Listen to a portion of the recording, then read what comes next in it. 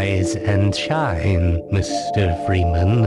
Rise and shine. Whoa! What the f, dude? Dude, what the f? Why are you fing here, man? You're so old. Where's your wife? Go home to your family, dude.